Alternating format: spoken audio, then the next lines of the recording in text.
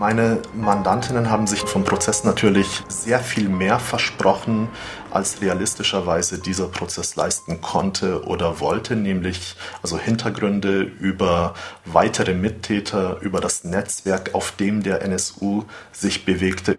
Es gibt Zeugen, die dürfen in dem Gerichtssaal lügen, Geschichten erfinden. Sie müssen sich nicht erinnern. Das sind meistens äh, Neonazis oder ehemalige Verfassungsschutzmitarbeiter, die dürfen das alles. Das heißt, das Gericht gibt diesen Personen sehr viel Raum. Sobald aber die Betroffenen die Rassismuserfahrung haben und betroffen waren durch den NSO, sprechen über den direkten Fall hinaus, dann werden diese sofort gestoppt. Also wie der Blick auf den NSU-Komplex oder wie der NSU-Komplex oder dieser ganze Prozess, die türkische Community, wenn ich jetzt für die türkische Community reden darf, ja, beeinflusst hat, ist eine Generationsfrage. Weil wir als jüngere Generation haben von Grund auf ein Misstrauen den Behörden gegenüber. Weil wir den Rassismus, den es in diesen Behörden gibt, auch verstanden haben. Weil die ganze Zeit wurden sie permanent zu Tätern gemacht. Sie wurden verdächtigt. Die Ermittlungen liefen immer nur einseitig. Die Familien wurden selbst beschuldigt. Das Sprechen in dem NSU-Prozess selbst ist für die Betroffenen da halt ganz wichtig. Ich war beim Prozess.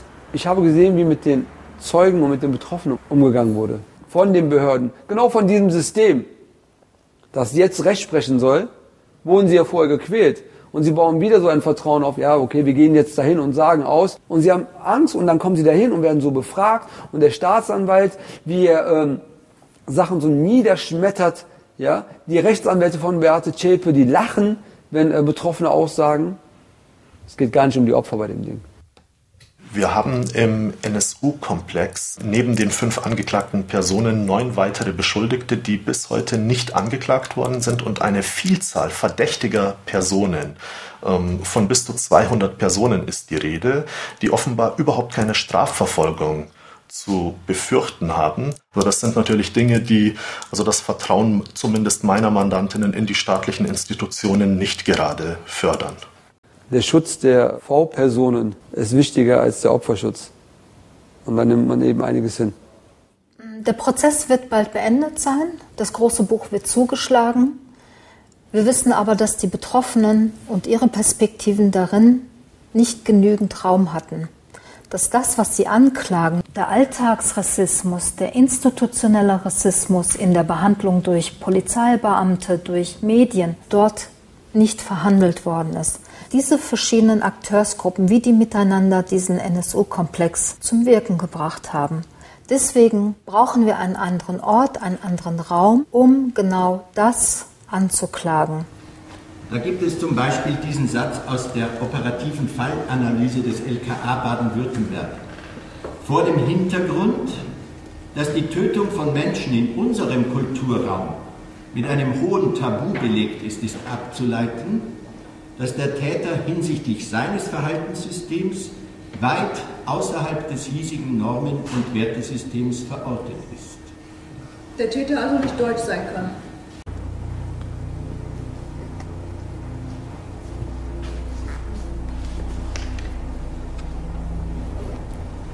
Das Ziel sind Türken unbedingt.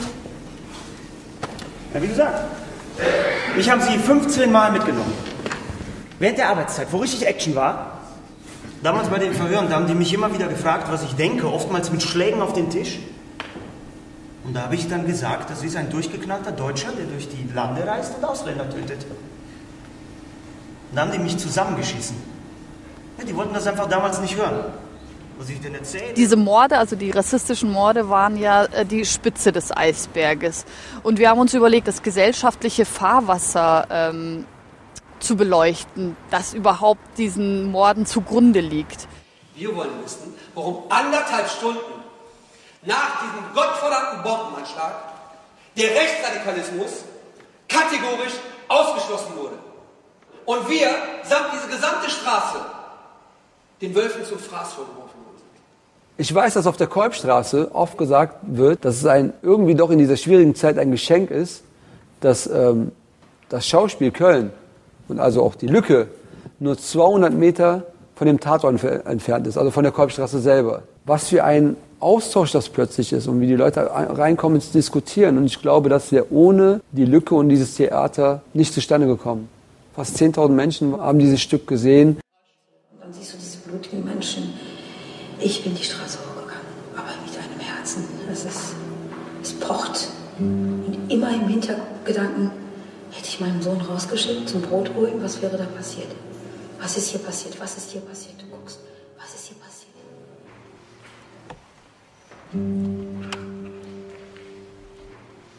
Und jetzt im Moment in München ist doch diese Gerichtsverhandlung.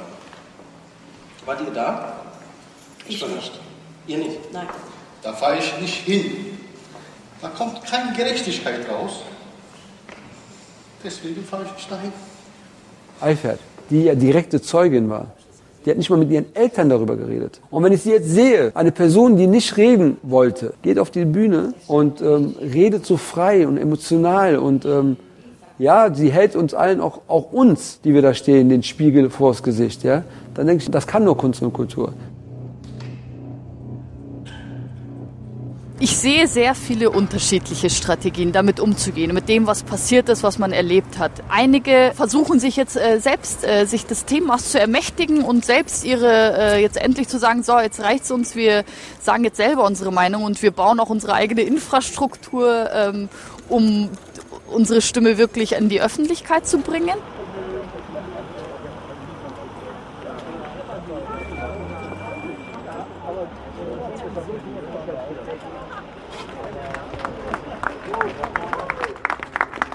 Mit der Benennung der Hallenstraße stellen wir uns explizit hinter die Familie Joskert, die seit Jahren für eine Umbenennung der Kasseler Holländischen Straße in Hallenstraße kämpft. An dem Tag des Auffliegens des NSUs wollten wir nicht, dass wieder die Namen der, des Trios medial in der Aufmerksamkeit sind, sondern dass es die Namen der Betroffenen und der Opfer sind. Es gibt inzwischen viele Initiativen, die in den Städten entstanden sind und es gibt einen Schulterschluss mit den Betroffenen und genau das ist etwas, was wir gemeinsam auch kanalisieren wollen, nämlich eine Anklage der rassistischen Verhältnisse in, in diesem Land. Wir haben uns dann gegründet mit der Idee, den Menschen, den Betroffenen menschlich beizustehen, ihnen zuzuhören und vor allem haben wir uns auf diesen Tag X fokussiert.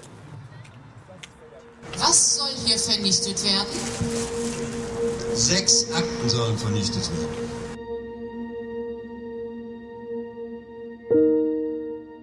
Der Tag X war für uns, wenn die äh, Menschen der Kolbstraße zur Aussage geladen werden, werden wir sie begleiten, weil wir wissen, was für ein Misstrauen und was für eine Angst diese Menschen haben. Es kamen Aktivisten aus ganz Deutschland mit Bussen hier angereist.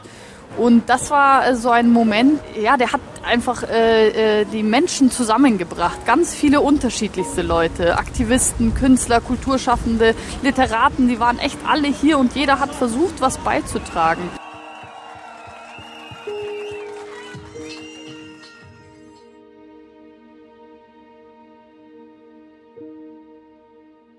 Wenn du jetzt irgendeinen fragen würdest, kennst du Beate Zschäpe, würde sie sagen, ja, kennen wir. Kennst du irgendeinen der Opfer, würde die Opfer keiner kennen. In den 90er Jahren brannten schon Wohnungen und Wohnheime für Flüchtlinge in diesem Land.